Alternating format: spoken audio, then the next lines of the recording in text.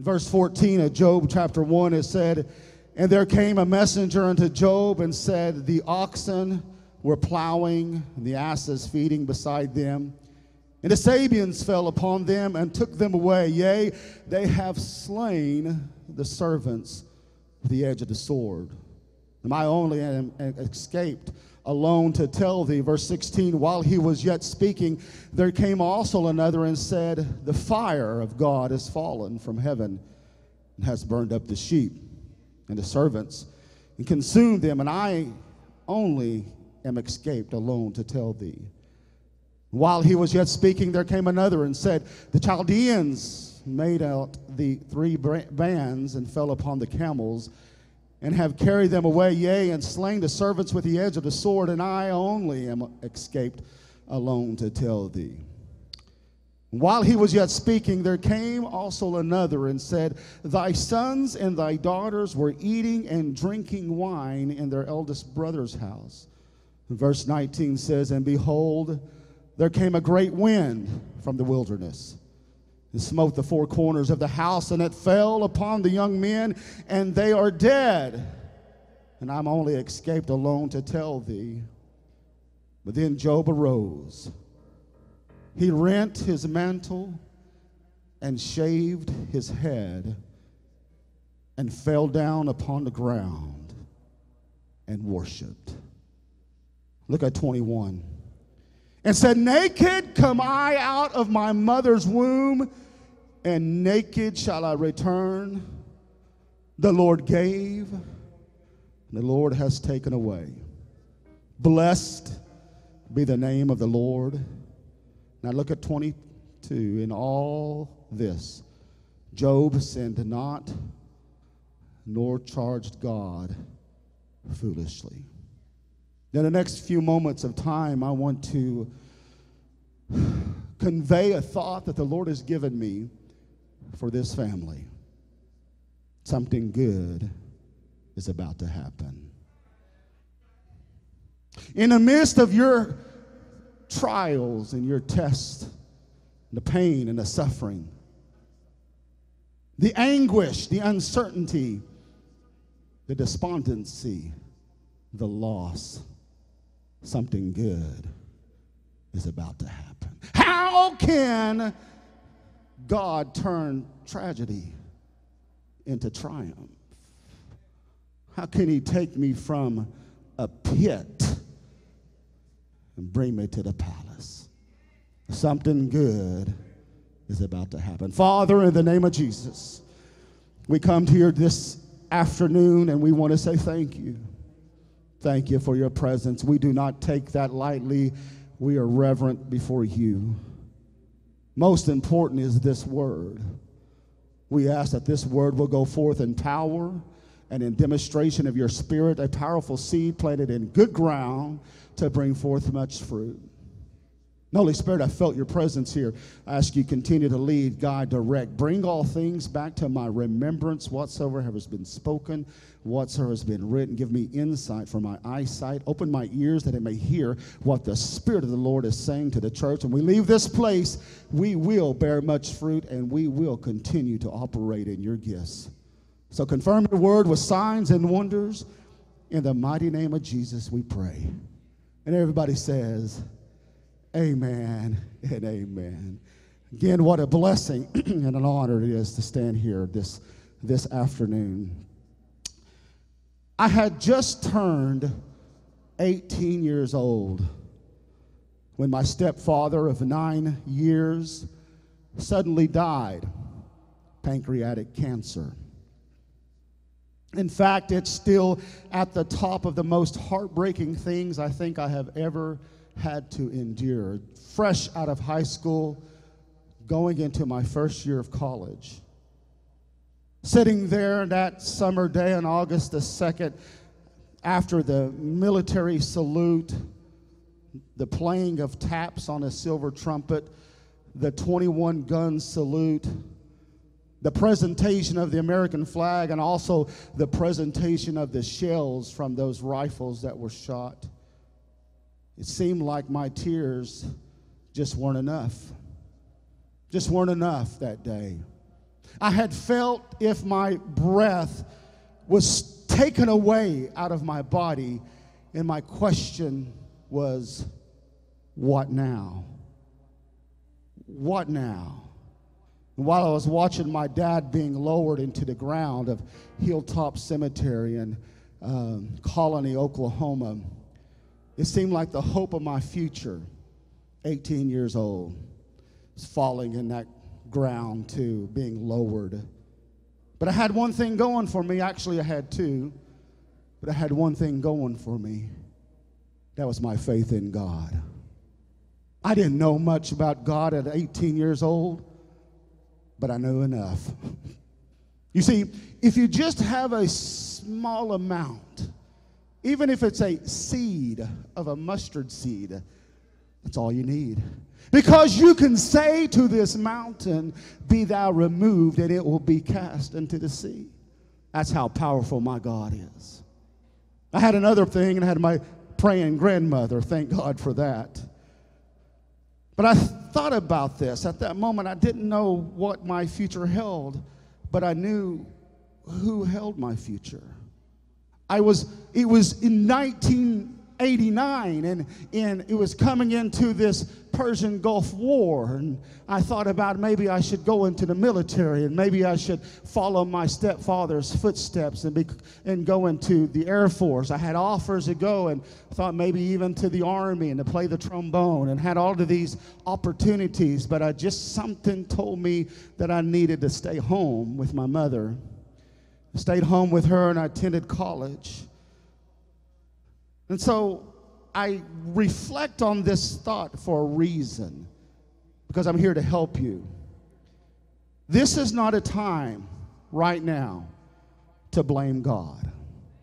It's not a time to blame God. It's so easy for us to put the blame on a superior being because we don't understand what's going on. I don't understand. You don't understand. But we serve a God who understands. With a frame of with, with the words of his mouth, he framed the entire universe. His faith in us and his trust in us should reciprocate. We should have that ability to say, God, you trust me with serving you, should I trust you? And at times we fail, we come up short. Uh, nor is this a time not only to blame God, but nor is this a time to release ourselves from the commandments of His Word. Did you hear what it said? I just read to you out of Job. He said that he, in all of this, Job sinned not, nor charged God foolishly. Nor that means he didn't blame God and he didn't sin. Is it okay to talk about sin today? It's not a very popular message. I realize that. And we all want to hear the shout and jump, and we're going to do that. But here I'm 18 years old. That afternoon, after the gravesite service, I watched. This is me. This is what happened to me. I watched in disbelief as my stepbrothers, my older brother, and some other family members, right after the funeral, buried my stepfather, I watched them open up 40 ounces and lit up some joints just outside of the community center. Right where were they eating dinner? Hmm. My thought was this. Here I'm a teenager, I'm a young man, and I'm thinking about what is happening here. And my thought is if this is how you honor our dad, I don't want any part of it. Is it okay for somebody in these last days to stand up for what is right? Is it okay for somebody to go against the current? Is it okay for us to say, look, you can act a fool, but for me and my house, we're going to serve the Lord? Is it okay? Where are we? We must know today that God has his finger on something in our life. And we've got to say, God, here I am. Do something good in my life. The reason I'm saying this is because we can forfeit the blessings of our God on our life because of making bad choices. That's all it, that's all it takes. Am I right, Pastor Carl? That's all it takes is one bad choice. One bad, you know, sometimes we blame so much on the devil when it never was the devil, it was a decision. It's time we take ownership and responsibility. We got to be who we say are, we are. We can act one way in the church, but what about tomorrow morning? What about when we get out today? What about Tuesday, Wednesday? Come on. I need somebody that was a witness today that says, Look, God called me to be the salt. God called me to be the salt of the earth. God called me to be the light of the world. God called me. Got to live it. Look at your neighbor and tell him, I got to live it. Now, the reason I'm telling you this is because something good is about to happen. And I don't want anybody to miss it today. Something good is about to happen in your life. And the devil knows he's trying to steal, to kill, and to destroy. But something good is about to happen. And you got to guard that good. You got to say, not today. Today is God has. Today I make a decision. I'm not giving in to the temptation and the lust. Wow, my, this is some good preaching. Is it possible? Is it possible that you guys could come back next Sunday morning, everybody? Is I've already tried to steal him. I've already tried, I don't mean steal, but I think the word is proselyte. I've been trying to take him I mean, we got a good praise and worship team, our family, but I'm telling you, one was in a thousand, but two was in 10,000. Hey, I've had the privilege of pastor this family for almost two decades. I'm privileged to pastor them. I've watched this family succeed beyond measure in sports, in academics, in business, and in ministry. I was thinking about this, Pastor Bishop Crenshaw. I was thinking about this. Sister Lynn, who did she root for? Was it Rivercrest? Was it Gosnell? Come on, Dion. It definitely wasn't Gosnell. was it Osceola? Dion said these altars are open.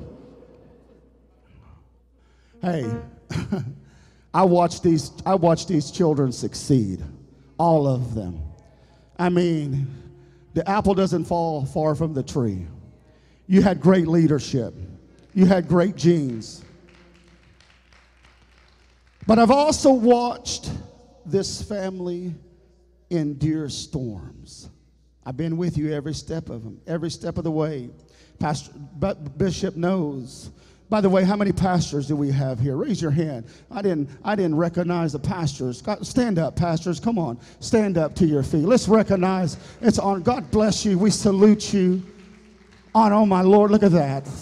God bless you. We salute you. Amen. Double honor, the word tells us. I've watched him endure some storms. We've laughed together and we've wept together. You know, Psalms 34, Division 34, and verse 19 says, Many are the afflictions of the righteous. Oh, I love this next part. But the Lord, somebody say, but the Lord. Not some of them, but all of them. I look at the life of Job, and Job endured so much affliction. But we know that at the end of his test, God gave him double. Double for his trouble, right? Job's suffering was not in vain. Listen to what happened. Job 42 is said in verse 10 And the Lord turned the captivity of Job when he prayed. Oh man, that's a Holy Ghost word for his friends. He didn't pray for himself, he prayed for others. Then it says, also the Lord gave Job twice. Somebody say, twice.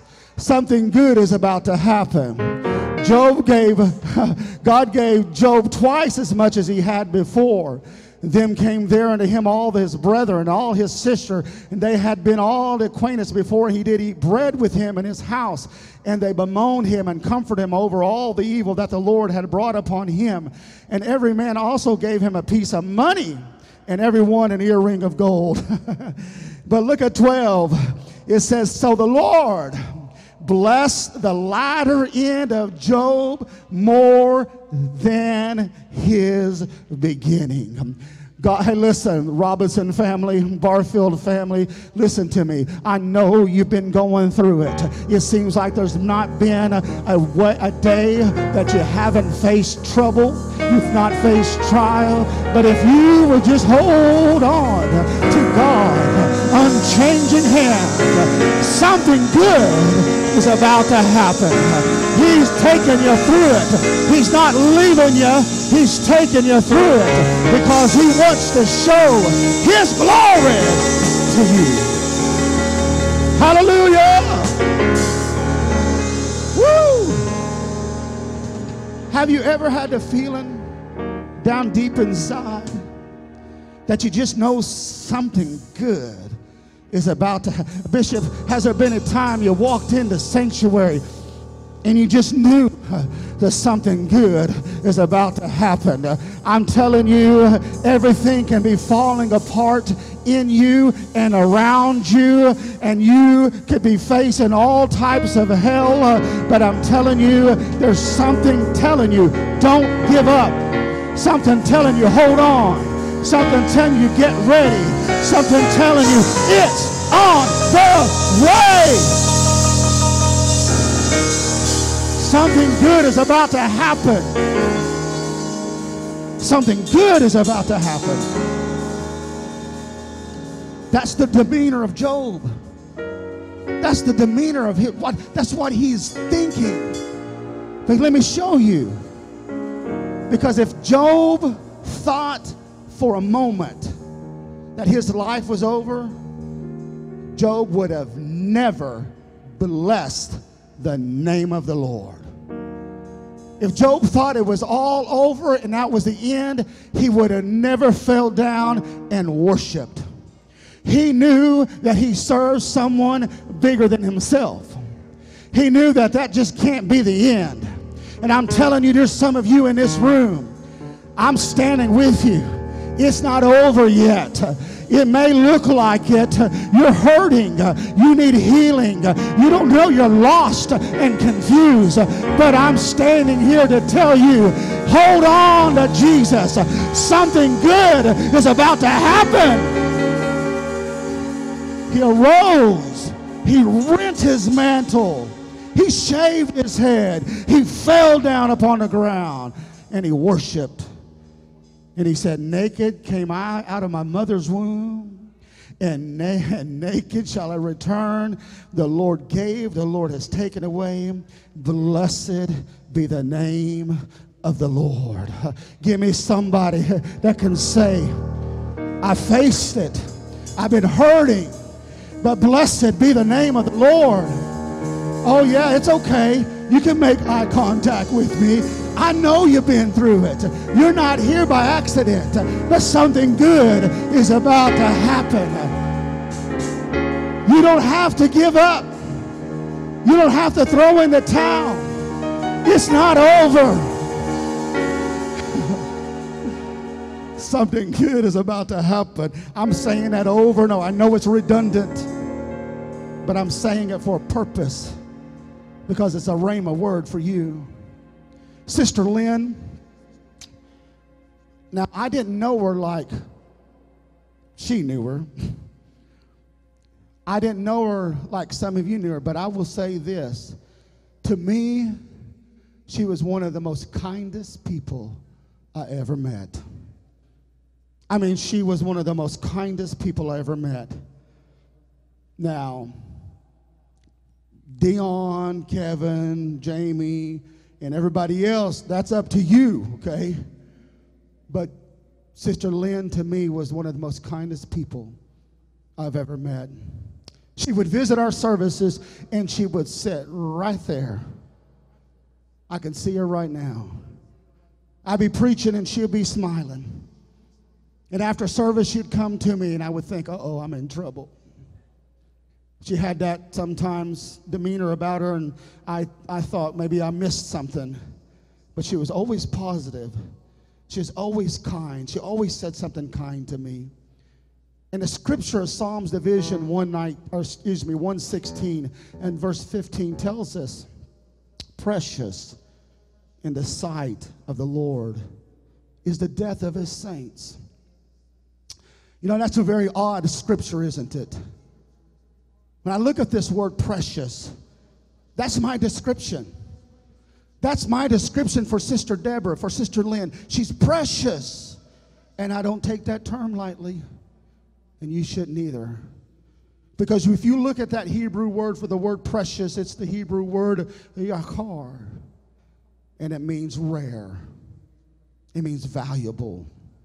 It means costly and prized. Can you agree with me this afternoon? She was precious. Precious.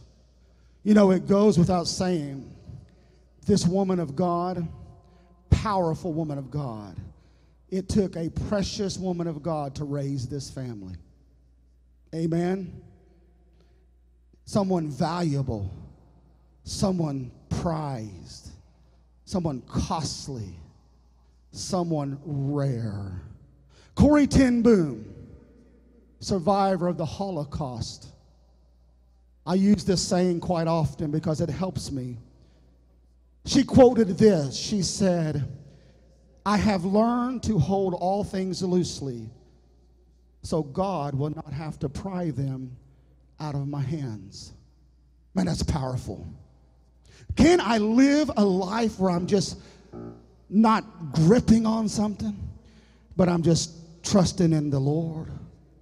And that's the way she learned to live. She learned to say, Hey, God, it, it's in your hands. Hey, God, the grandchildren is in your hands. Hey, God, Carl is in your hands. Amen?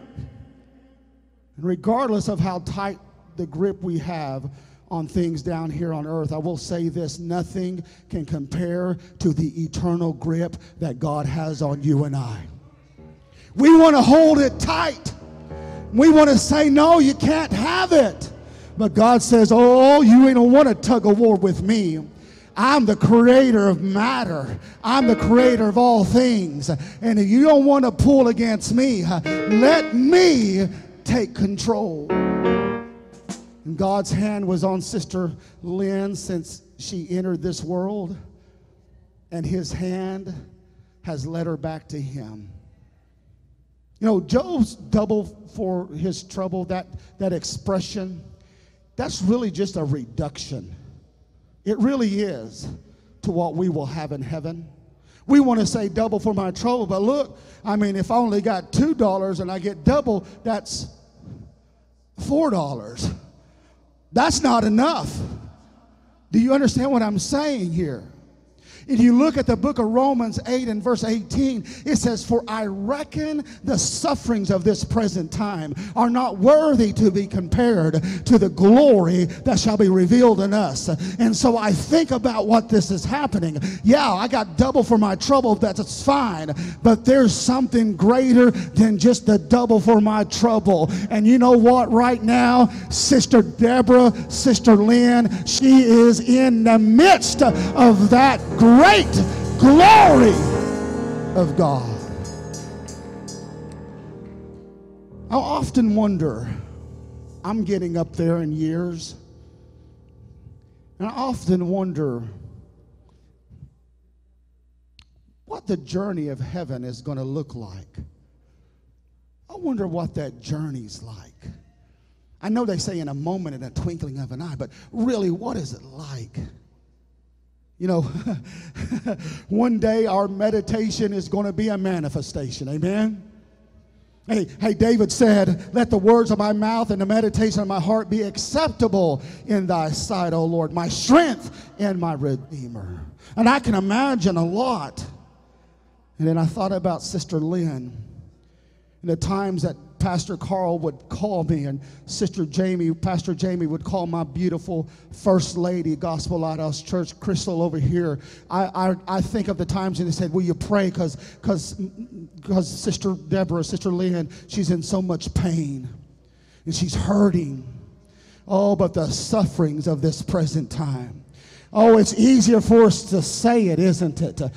But it's a lot, it's a lot harder when you are the one suffering when you're the one going through it and you don't know what's going to happen and the doctors don't have an answer and they can't tell you what's going to take place. They can't tell you the medicine. They can't tell you how to how to take care of you. And all you got to do is put your trust upon God. I would never do it but I would take this Bible and I would have to stand on God's word regardless of what anybody else would say because it's not worthy to be compared to the glory that shall be revealed in us.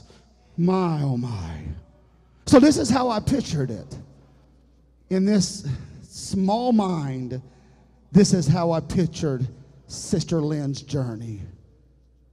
She has moved out of her home on West McKinney Drive and moved into her mansion on Golden Drive. John 14, 1 through 3 says, Let not your heart be troubled. Ye believe in God, believe also in me. In my Father's house are many mansions. If it were not so, I would have told you, I go to prepare a place for you. And if I go and prepare a place for you, I will come again and receive you unto myself, that where I am, there you may be also. Look at your neighbor and say, Something good is about to happen. And so I began to wonder. And I had this thought. She stepped, she stepped off of C&J's 360 photo booth to standing in the front of God's 360 throne room. Imagine that right now. Revelation 7 says, After this I behold, and lo, a great multitude, which no man can number of all nations and kindreds and people and tongues, stood before the throne and before the Lamb, clothed with white robe and palms in their hand, and cried with a loud voice, saying, Salvation to our God, which sits upon the throne, and unto the Lamb. And all the angels stood around about the throne and about the elders and the four beasts, and fell before the throne on their faces, and worshiped God, saying, Amen. Amen. Blessing and glory and wisdom and thanksgiving and honor and power and might be unto our God forever and ever. My, something good is about to happen.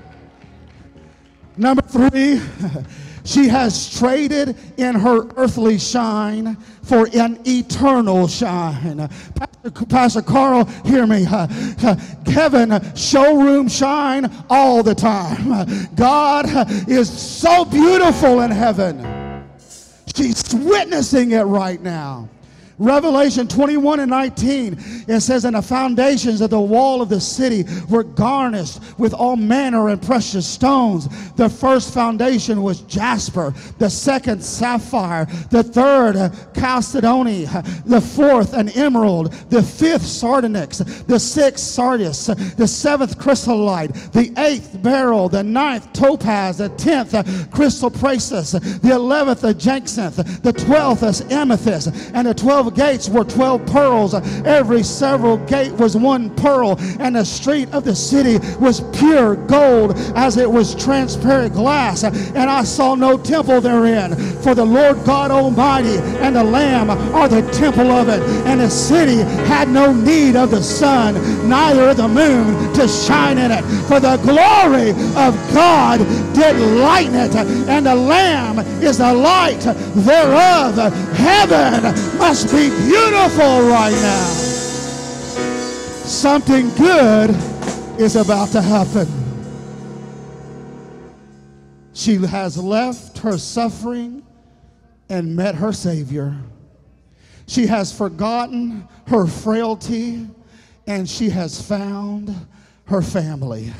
Look at 1 Corinthians 13 and 12. It says, For now we see through a glass darkly, but then face to face. And now I know in part, but then shall I know, even as also I am known. What's that saying? That she is going to be known, or she is known in heaven right now. Listen, nobody's better than Teddy has welcomed his mama home. Listen, Mike C has welcomed welcomed his grandma home. Listen, Blossom Joy has welcomed her grand grandma home. Know this today, they're rejoicing in heaven. I like this one. Revelation 21 and verse 4 says, And God shall wipe away all tears from their eyes, and there shall be no more death, neither sorrow nor crying, neither shall there be any more pain. For the former things are passed away. And he that sat upon the throne said, Behold, I make, hallelujah, all things new. And he said unto me, Write, for these words are true and faithful. And he said unto me, It is done. I am an Alpha, Omega, the beginning and the end. I will give unto him that is athirst of the fountain of the water of life freely, and he that overcometh shall inherit all things, and I will be his God, and he will be my son. My oh my. Look at your neighbor and tell him something good is about to happen. Last one, number five. And I will, it's amazing how God puts things together. I could have never said it the way your, your beautiful wife, your evangelist said it. I could have never said it that way. But Sister Lynn, she has went from waiting on us to waiting for us.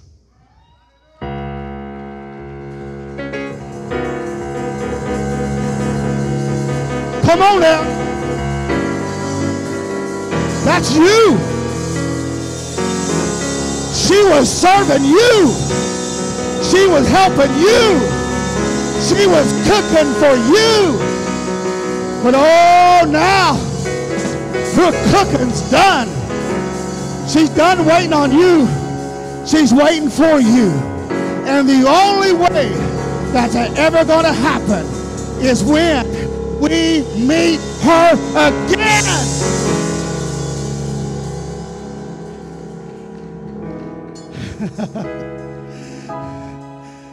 Sister Lynn, right now in heaven, Sister Lynn, it's time for her to sit and be honored. Can you imagine? First Thessalonians 4, verse 13. But I would not have you be ignorant, brethren, concerning them which are asleep, that you sorrow not, even as others which have no hope. For if we believe that Jesus died and rose again, even so them also which sleep in Jesus will God bring with him. For this we say unto you by the word of the Lord, that we which are alive and remain unto the coming of the Lord shall not prevent them which are asleep. Mm. For the Lord himself shall descend from heaven with a shout, with the voice of the archangel, with the trump of God, and the dead in Christ shall rise first. Then we which are alive and remain shall be caught up together. Look at your neighbor and tell him, We're in this together. Yeah, I've come too far from all the way from Enid, Oklahoma in 1971 to tell a very educated, a very spiritual, a very gifted, a very talented, a very wealthy people in God to tell you this. We are in this together. Nobody left behind. Nobody missing out. Something good is about to happen and we don't want you to miss it. And if, if Lynn could open up this casket or walk down this aisle, she would tell you the same thing. children, something good is about to happen. Don't give up. Keep serving the Lord. Keep living for Him. Shout hallelujah.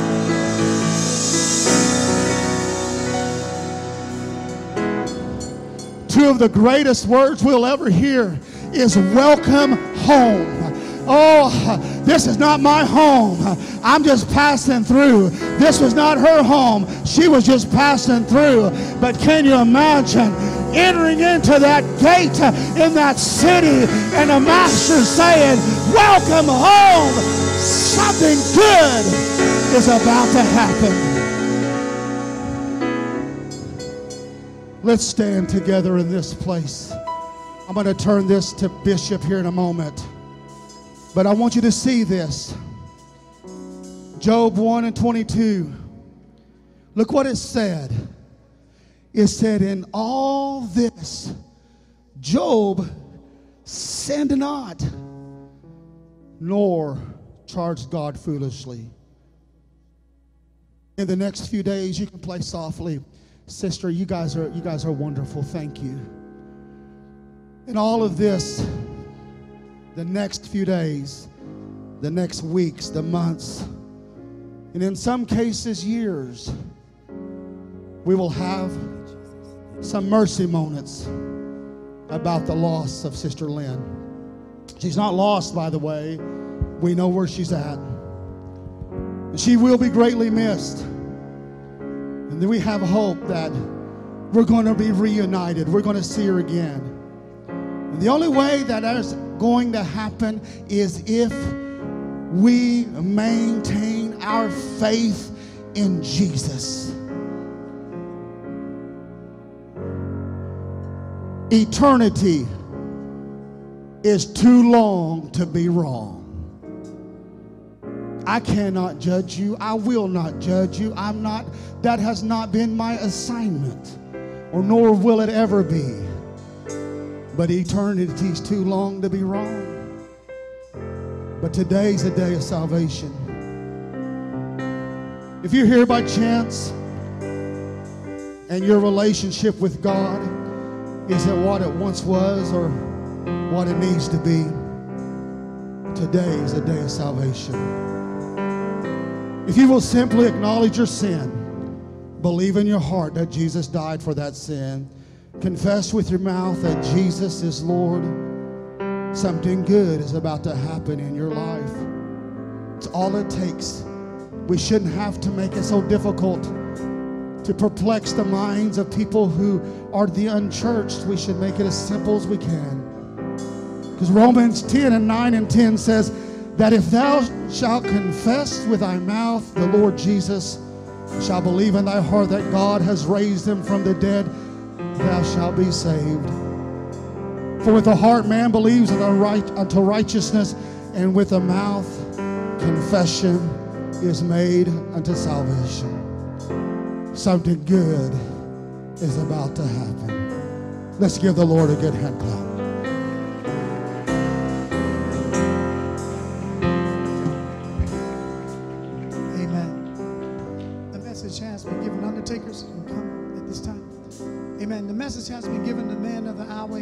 Spoken has given us a word to hold on to. Something good is about to happen. Robinson family, you have something for to look for. Amen. Your mother, your